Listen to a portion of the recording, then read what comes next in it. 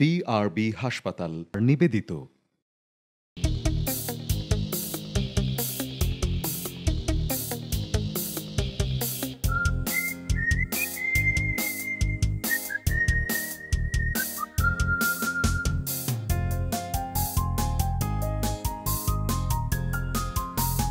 প্রিয় দর্শক, আপনাদের প্রত্যেককে আমন্ত্রণ সহ শুভেচ্ছা জানাচ্ছি এনটিভির প্রতিদিনকার আয়োজন বিআরবি হাসপাতাল স্বাস্থ্য প্রতিদিনে।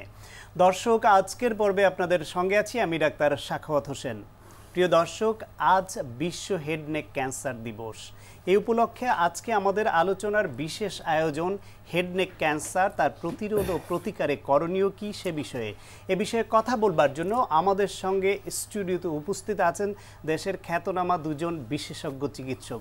চলুন দর্শক, অনুষ্ঠানের শুরুতেই আমরা পরিচিত হয়ে নেই আমাদের অতিথিদের সঙ্গে। ডাক্তার বেলায়েত হোসেন সিদ্দিকী উনিশশো উনষাট সালের জানুয়ারি মাসে হবিগঞ্জ জেলায় জন্মগ্রহণ করেন। তিনি উনিশশো বিরাশি সালে M A G Sylhet Osmani medical college থেকে এম ডিগ্রি অর্জন করেন। এরপর তিনি চিকিৎসা বিজ্ঞানে উচ্চতর এফসিপিএস ডিগ্রি অর্জন করেন। বর্তমানে তিনি বঙ্গবন্ধু শেখ মুজিব মেডিকেল বিশ্ববিদ্যালয়ের otolaryngology and head neck surgery বিভাগের চেয়ারম্যান হিসেবে কর্মরত। অধ্যাপক ডাক্তার মতিউর রহমান মোল্লা উনিশশো সালের জুলাই মাসে দিনাজপুর জেলায় জন্মগ্রহণ করেন। তিনি উনিশশো আটাত্তর সালে ঢাকা ডেন্টাল কলেজ থেকে বিডিএস ডিগ্রি অর্জন করেন। এরপর তিনি চিকিৎসা বিজ্ঞানে উচ্চতর এফসিপিএস ও পিএইচডি ডিগ্রি লাভ করেন। বর্তমানে তিনি Anwar Khan modern medical college ও হসপিটালের ওরাল ও ম্যাক্সিলোফেশিয়াল বিভাগের বিভাগীয় প্রধান হিসেবে কর্মরত আছেন। তিনি বঙ্গবন্ধু শেখ মুজিব মেডিকেল বিশ্ববিদ্যালয়ের প্রাক্তন ডিন ও বিভাগীয় প্রধান হিসেবে নিয়োজিত ছিলেন। তিনি বাংলাদেশ ওরাল ক্যান্সার সোসাইটির সভাপতি। স্যার আপনাদের আমন্ত্রণ জানাচ্ছি আমাদের অনুষ্ঠানে। আপনাকে ধন্যবাদ আমাদের আমন্ত্রণ জানানোর জন্য। স্যার আপনারা দুজনেই হেডনেক ক্যান্সারের সঙ্গে দীর্ঘদিন ধরে যুক্ত এর চিকিৎসায় এবং আপনি বাংলাদেশ হেডনেক ক্যান্সার সোসাইটির প্রেসিডেন্ট এবং আপনিও স্যার বাংলাদেশ ওরাল ক্যান্সার সোসাইটির প্রেসিডেন্ট। আপনারা হেডনেক ক্যান্সারের শুধু চিকিৎসাই নয়, এর প্রতিরোধেও দীর্ঘদিন ধরে ভূমিকা পালন করছেন। তো প্রথমে আমি স্যারের কাছ থেকে যদি জানতে চাই যে হেডনেক ক্যান্সার বলতে শরীরের কোন অংশের কোন ক্যান্সারগুলিকে বুঝিয়ে থাকেন? ধন্যবাদ। হেড অ্যান্ড নেক ক্যান্সার বলতে একটা group of disease, group of cancer বোঝায়। এটা কোনো পার্টিকুলার একটা ক্যান্সার না। কিন্তু এগুলিকে একটা গ্রুপে আনা হয় এই জন্য যে এগুলির যে ইটিওলজি বা এগুলির যে রিস্ক ফ্যাক্টর ঝুঁকি বাড়ায় রিস্ক যেগুলি। ফ্যাক্টর যেগুলি সেগুলি মোটামুটি একই ধরনের। এবং এগুলি যে উপসর্গ তৈরি করে সেই উপসর্গগুলিও সিমটম সেইগুলিও একই ধরনের। কিন্তু সেগুলির যে ডায়াগনোসিস এবং ট্রিটমেন্ট সেটা আলাদা। এবং সেটার যে ট্রিটমেন্টের সফলতা এসেস করা হয়। ট্রিটমেন্ট এটা একটা অত্যন্ত গুরুত্বপূর্ণ উপাদান। সেখানেও এটা ভিন্নতা থাকে। তো কোন অংশের ক্যান্সার বলছেন? এই ক্যান্সারগুলি মূলত নাক কান গলা এই রিজিয়নে মানে মানুষের শরীরে এই অংশে হয়ে থাকে। তো তার মধ্যে প্রধান ক্যান্সারগুলি যেমন লেরিঞ্জিয়াল ক্যান্সার বা আমাদের যে গলার স্বর তৈরি হয় ভয়েস বক্স বলি আমরা সেই অর্গানের ক্যান্সার তারপরে ফেরিঞ্জিয়াল ক্যান্সার যেটা খাদ্যনালীর উপরিভাগের ক্যান্সার তারপরে আপনার থাইরয়েড ক্যান্সার মুখ গহব্বরের ক্যান্সার নাক এবং সাইনাসের ক্যান্সার এছাড়া আরও কিছু ক্যান্সার আছে যেগুলি খুব কমন না। সেগুলি যেমন স্কাল বেস টিউমার আমরা বলি। সেটা ব্রেইনের জাস্ট জাস্ট নিচে একটা অংশে সেই ক্যান্সারগুলি হয়, যেমন নেজোফেরিঞ্জিয়াল ক্যান্সার বা পিটুইটারি টিউমার এই সমস্ত সবগুলিকে কালেকটিভলি একই সাথে আমরা হেড নেক ক্যান্সার বলছেন। স্যার এই ক্যান্সারের যে ইনসিডেন্স রেট আমরা বলি বা যে ওভারঅল শরীরে যত রকম ক্যান্সার হয় তার মধ্যে কতটা অংশ জুড়ে হেড নেক ক্যান্সার রয়েছে এবং সেটা আমাদের দেশের অবস্থা কেমন সেটা বহির্বিশ্বের সঙ্গে যদি আমরা ইউরোপে আমেরিকার সঙ্গে কম্পেয়ার করতে চাই বা তুলনা করতে চাই সেটার অবস্থানটা কোথায় আমাদের? বাংলাদেশে হেড অ্যান্ড নেক ক্যান্সারের যদি আমরা বলি তো এক মোটামুটিভাবে আমরা আমাদের যে ধারণা এবং যে সমস্ত প্রকাশনা আছে তাতে দেখা যায় যে যদি আমরা খাদ্যনালীর উপরিভাগের ক্যান্সারকেও হেড নেক ক্যান্সারের মধ্যে ধরি তাহলে তিরিশ থেকে পঁয়ত্রিশ শতাংশ ক্যান্সার সমস্ত শরীরের যে সমস্ত ক্যান্সার হয় তার তিরিশ থেকে পঁয়ত্রিশ শতাংশ ক্যান্সার হেড হেড ক্যান্সার। এটা অন্যান্য দেশে কি এরকম? অন্যান্য দেশে বলতে হ্যাঁ আমাদের চাইতেও বেশি ইনসিডেন্স আছে যেমন কিছু চায়না তাইওয়ান এই সমস্ত দেশে হেড অ্যান্ড নেক ক্যান্সারের পরিমাণটা আরও বেশি। কিন্তু ওয়েস্টার্ন ওয়ার্ল্ডে এটা অনেক কম। অনেক কম এই জন্য যে তারা যে রিস্ক ফ্যাক্টরগুলিকে তারা অনেক কন্ট্রোল করেছে যার জন্য সেখানে ক্যান্সার মানে ইনসিডেন্সটা কমে আসছে। আমরা এই রিস্ক ফ্যাক্টর সম্পর্কেও শুনব। তার আগে স্যারের মতামতটা একটু নিয়ে নিই। স্যার বলছিলেন যে হেডনেক ক্যান্সারের মধ্যে মুখগহ্বর বা ওরাল ক্যাভিটির ক্যান্সার এবং এর মধ্যে একটা বড় অংশ জুড়ে ওরাল ক্যান্সার নামে যেটি পরিচিত, এটা থাকে। আপনি বাংলাদেশ ওরাল ক্যান্সার সোসাইটির প্রেসিডেন্ট এবং অনেক দিন এই বিষয়ে সার্জারি করছেন প্রিভেনশনে কাজ করছেন। আপনার মতামত কি? বাংলাদেশে ওরাল ক্যান্সারের অবস্থাটা কোন পর্যায়ে আছে? ধন্যবাদ আপনাকে। হেডনেক ক্যান্সারের মধ্যে ওরাল ক্যান্সারের কিন্তু অনেকটা অংশ জুড়ে আছে। প্রায় বলা যায় পঁয়ষট্টি ভাগ বা সত্তর ভাগের প্রায় উপরে মুখের মুখগহ্বরের ক্যান্সার তার মানে হচ্ছে আমরা বুঝব যে মুখগহ্বর মেইনলি আমাদের খুব কমন যেটা দেখা যায় চিকে বা বাক্কাল মিউকোসাতে তারপর টাঙে floor of the mouth palate এবং গাম বা জিঞ্জাভাই থেকে প্রধানত হয়ে থাকে লিপো ইনভলভ হতে পারে। এর প্রকোপ খুব বেশি এবং আমরা জানি যে ইন্ডিয়ান সাবকন্টিনেন্টে ওরাল ক্যান্সার প্রকোপ আসলে খুব বেশি। বলা হয় প্রায় মিনিমাম তিরিশ পার্সেন্ট হবে পুরো বডি যদি ধরি একশো পার্সেন্ট তার তিরিশ পার্সেন্ট হচ্ছে আমাদের এখানে। এবং এর মূল কারণটাই আমরা জানি যে টোবাকো বা চিবিং টোবাকো এই ধরনের জিনিস দিয়ে আমরা যেটা আমাদের অভ্যেস আছে, পান, সুপারি খাওয়া। এবং এর সঙ্গে আরও কিছু ডেন্টাল ফ্যাক্টর রয়ে গেছে। যেমন হচ্ছে মুখের যদি ভাঙা দাঁত থাকে, ঘর্ষণ লেগে লেগে ঘা হয়, সেখান থেকে হতে পারে। এবং ইদানিং আরও কিছু বলা হচ্ছে এইচপিভি তার মানে হিউম্যান প্যাপিলোমা ভাইরাস এটাও কিন্তু- মূলত জরায়ু ক্যান্সারের জন্য এক নাম্বার কালপ্রিট কিন্তু হেডনেক ক্যান্সারের জন্য বলা হচ্ছে যেমন ইদানিং এখন দেখা যাচ্ছে সার্ভিক্সের কিছু হলে যেমন ওই টেস্টটা করা হয় মুখে ক্যান্সারের জন্য ইদানিং প্যাথোলজিস্টরা এই এসপিভি স্ক্রিনটা করে নিচ্ছেন। এবং আমি কিছু কিছু স্টাডি পেয়েছি যে অলরেডি ওয়েস্টার্ন কান্ট্রিতে কিছু এই এই হিউম্যান প্যাপিলোমা ভাইরাসের সম্পৃক্ত দেখা দিচ্ছে আমাদের এখানেও পাওয়া যাচ্ছে স্যার। হ্যাঁ। রিসেন্টলি বিশেষ করে টাং ক্যান্সার বা জিভার ক্যান্সারের সম্পর্ক পাওয়া যাচ্ছে। পেপিলোমা হিউম্যান পেপিলোমা ভাইরাস মূলত ওরোফেরিঞ্জিয়াল ক্যান্সারে ওরো মুখের পিছনের দিকে যে একটা অংশ আছে মুখ গহ্বরের ওরোফেরিংস বলি আমরা। তো সেই ওরোফেরিঞ্জিয়াল ক্যান্সারে হিউম্যান পেপিলোমা ভাইরাসের একটা এস্টাবলিশড রোল আছে এখন সময়। এটা প্রমাণিত স্যার স্যার বলছিলেন মুখগহ্বরের ক্যান্সারের জন্য স্মোকলেস টোবাকো বা চিবিয়ে খাওয়ার যে তামাকজাত দ্রব্য যেমন পান তামাক তামাক হ্যাঁ। জর্দা সাদা পাতা গুলখৈনি এগুলার ভূমিকা আছে। সো ওভারঅল হেডনেক ক্যান্সারে আপনি যে বলছিলেন ল্যারেঞ্জিয়াল ক্যান্সার ফ্যারেঞ্জিয়াল ক্যান্সার সহ অন্যান্য ক্যান্সারগুলিতে ইটিওলজিক্যাল ফ্যাক্টর বা ঝুঁকি বাড়ায় সে উপাদানগুলি কি? এগুলিতে আমরা যদি ধরি থাইরয়েড ক্যান্সার ছাড়া অন্য সব ক্যান্সারেই স্মোকিংয়ের একটা প্রধান রোল থাকে প্রধান ভূমিকা থাকে। ঘুরে ফিরে সেই তামাকজাত দ্রব্যই আসছে। এবং এটাকেই মূল কালপ্রিট হিসাবে ধরা হয়। তো স্মোকিং এমনকি দেখা গেছে ওয়েস্টার্ন ওয়ার্ল্ডে স্মোকিংয়ের রেটটাকে যদি কমানো যায়, তাইলে এই সমস্ত ক্যান্সারের রেট কমে যায় সমাজে। এটা, এটাও প্রমাণিত জিনিস। তো, কাজে স্মোকিং আমরা অবশ্যই এখন এটা এটা প্রমাণিত একটা রিস্ক ফ্যাক্টর এছাড়া যে সমস্ত ফ্যাক্টর তার মধ্যে মুখ গহ্বরে যেমন আপনি বললেন, পান সুপারি, জর্দা, এসব ফেরিঞ্জিয়াল ক্যান্সারে অ্যালকোহল যারা হ্যাঁ সেটা কিন্তু আমাদের সমাজে সমাজেও তুলনামূলকভাবে কম হলো একেবারে কম না।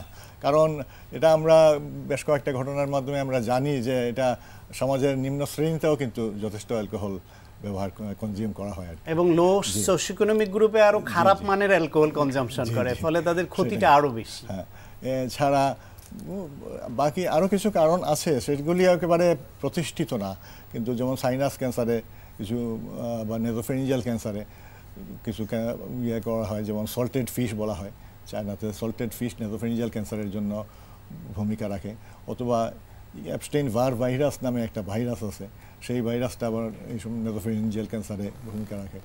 তারপরে হিউম্যান পেপিলোমা ভাইরাস বললেন আপনি, তো এই সমস্ত ভাইরাল ইনফেকশন ভূমিকা আছে। তো মূলত তারপরও স্মোকিংটাই আমরা মানে কোনো না কোনো ফর্মে তামাকজাত দ্রব্য সেটাই আমাদের প্রধান শত্রু এই ক্যান্সারগুলির জন্য। এখানে নিউট্রিশন ফ্যাক্টরটাও আসলে কিছুটা প্যাসিভলি ভূমিকা রাখতে পারে। যদি শরীরে দেখা যায় পর্যাপ্ত পরিমাণ ভিটামিন বি স্পেশালি ওই অথবা এই জাতীয় জিনিস কম থাকে তাদের কিন্তু এই রিস্ক ফ্যাক্টর যদি বেশি থাকে সহজেই তাদের হবে। এটা কিন্তু অনেক ইয়েতেই ইয়ে হয়। সরাসরি না হলেও যদি সে কেউ একজন তামাক বেশি ব্যবহার করছে, তার যদি টিস্যু কোয়ালিটি ভালো না থাকে, সেই ক্ষেত্রে তার সহজে তাদের হবে ক্যান্সার আমি একটু যোগ করব জাস্ট যে হ্যাঁ এটা মেলনারিশমেন্ট বা মেলনিউট্রিশন এটা কিন্তু হ্যাঁ একটা ভূমিকা রাখে সহায়ক ভূমিকা রাখে। যদি কেউ মানে গ্রোস এনিমিয়া থাকে রক্তশূন্যতা থাকে তাহলে তার কিন্তু খুব সহজেই এই হয়তো। সাসেপ্টিবল হয় এবং তার এই গলার ক্যান্সার ডেভেলপ করে।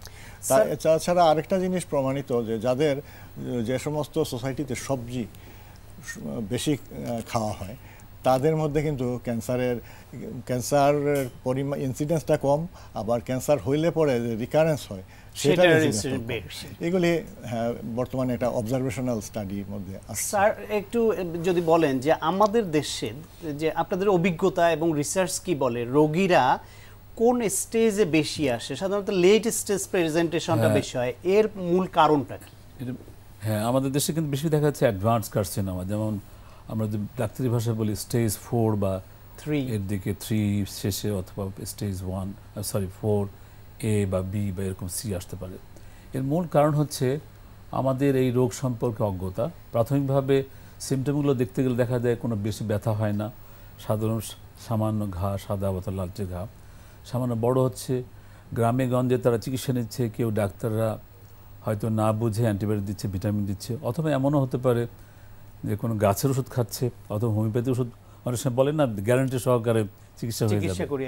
এটা করতে করতে যে দেখা যায় যে যখন বাড়তে বাড়তে অনেক অ্যাডভান্স হয়ে ছড়িয়ে গেছে বিভিন্ন জায়গায় সেই অবস্থায় যখন আসে তখন আসলে রুগীরও কষ্ট এবং সার্জন বা ডাক্তার যে চিকিৎসা তার জন্য আর দুরূহ ব্যাপার হয়ে দাঁড়ায়। এবং এটা ভালো হওয়ার সম্ভাবনা অনেক কমে যায়। দর্শক, আমরা আলোচনা করছিলাম হেড নেক ক্যান্সার। আজকে বিশ্ব হেড নেক ক্যান্সার দিবস, সে উপলক্ষে এই বিষয়টি আলোচনার জন্য আমাদের সঙ্গে দুজন অতিথি আছেন। আমরা আলোচনায় ফিরে যাই। স্যার, আপনি বিরতির আগে বলছিলেন যে লেট প্রেজেন্টেশন হয়, এ বেশিরভাগ রোগী। তো তার মধ্যে কিছু অপচিকিৎসা কিংবা মিসগাইডেড হওয়ার কথাও বলছিলেন। স্যার, আপনি যদি বলেন যে এই যে হেডনেক ক্যান্সার বা যে কোনো ক্যান্সার, এই যে লেট প্রেজেন্টেশন এইটা যে মিসগাইডেড হওয়া রেফারেল সিস্টেমের দুর্বলতা, রোগীদের মধ্যে অসচেতনতা যেটা, এটা থেকে উত্তরণের উপায় কি?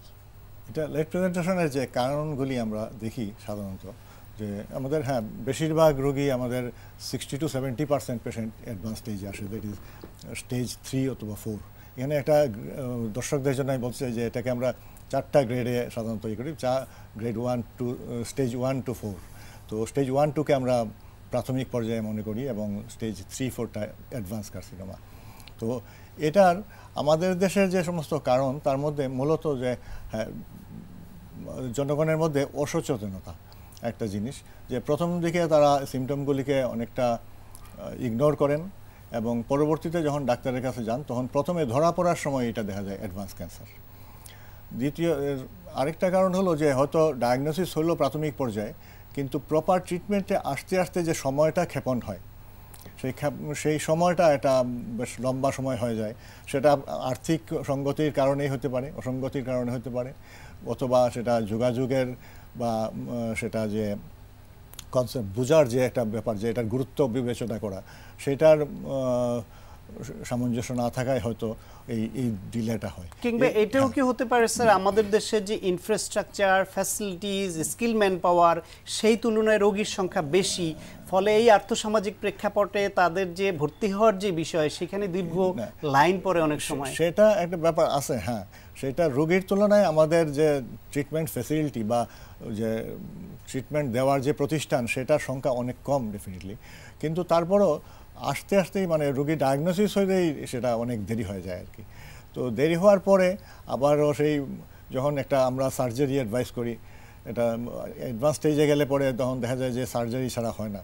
শুধু সার্জারি করতে হয় তারপরে রেডিওথেরাপি দিতে হয় সাথে হয়তো অনেক সময় কেমোথেরাপি দিতে হয়।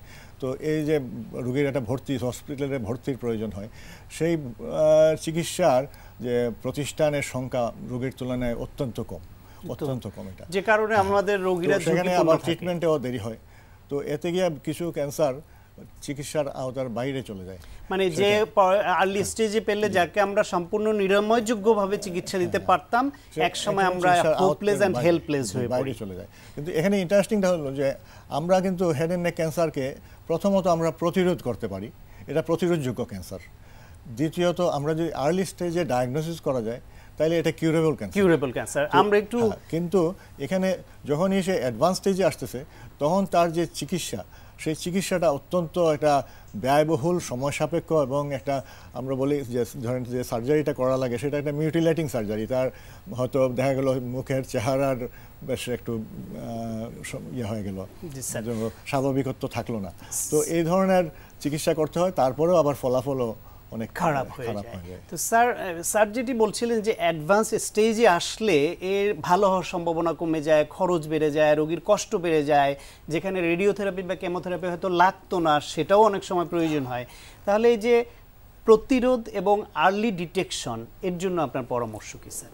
হ্যাঁ আমরা এই এই লক্ষ্যেই আমাদের সোসাইটির মাধ্যমে আমরা বিভিন্ন গ্রামীণ অঞ্চল স্পেশালি যেখানে ডাক্তার প্রপারলি পাওয়া যায় না সেখানে আমরা হেলথ ক্যাম্প করি। হেলথ ক্যাম্পের মেইন উদ্দেশ্য হচ্ছে মুখ গহ্বরকে পরীক্ষা করা।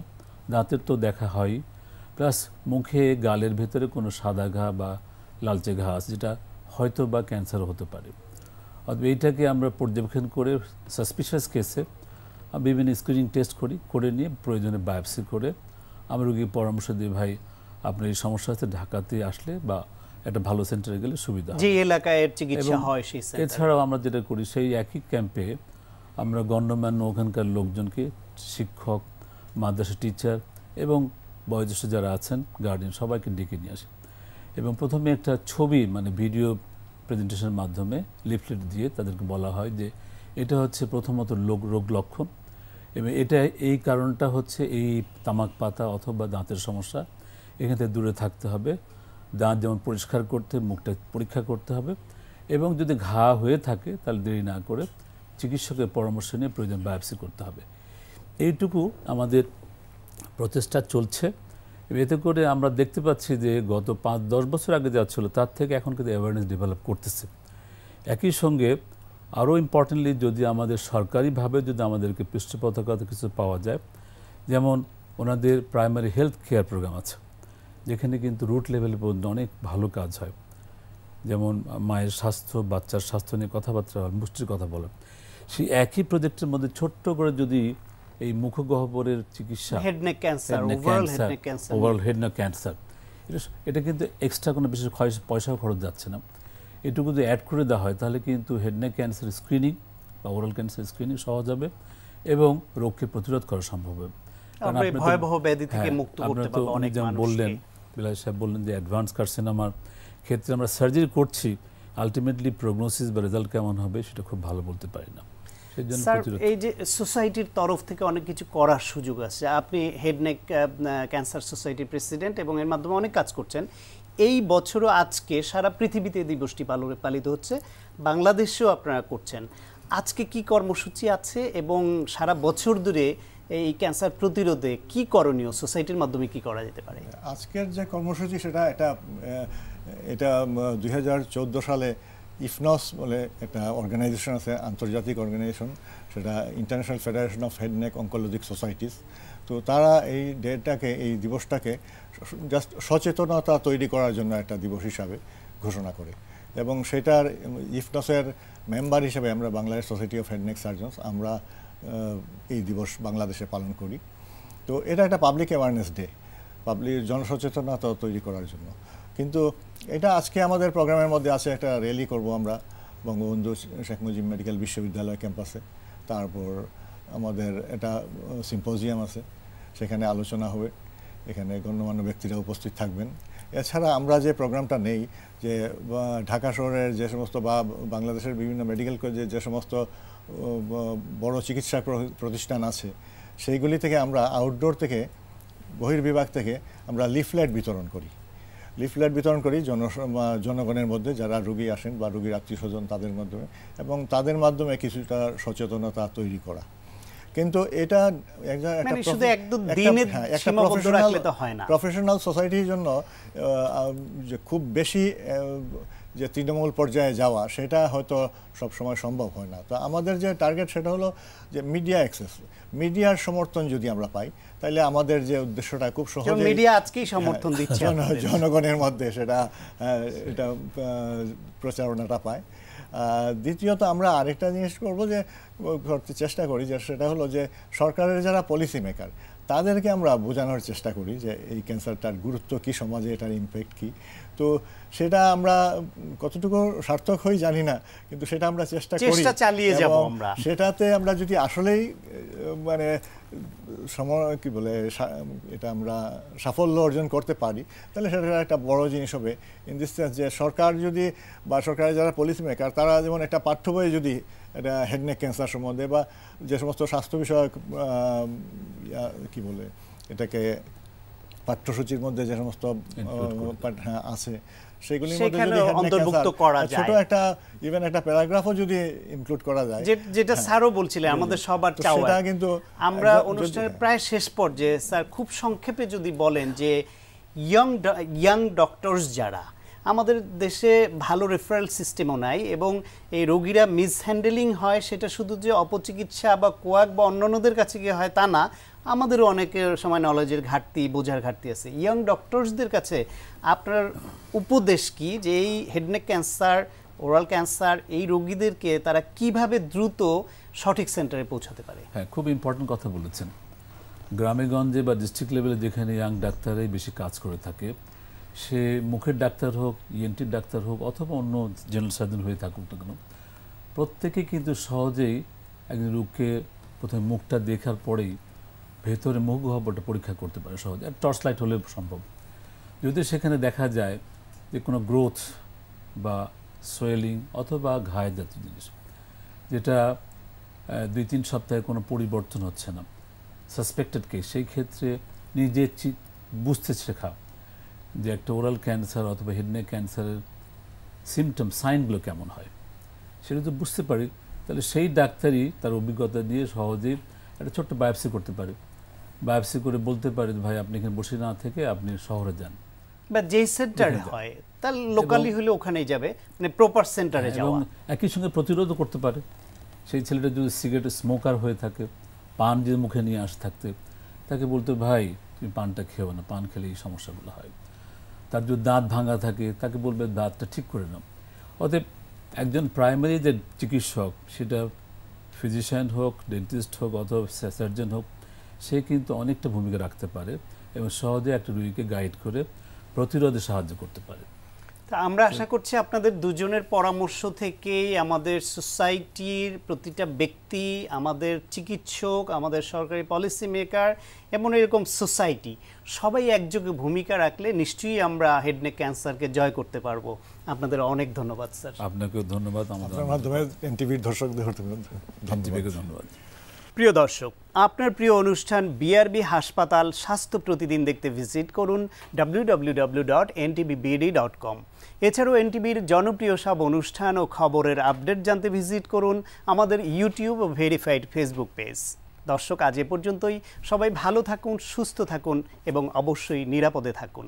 দেখা হবে আগামীকাল ঠিক একই সময়ে নতুন কোনো অতিথি নিয়ে।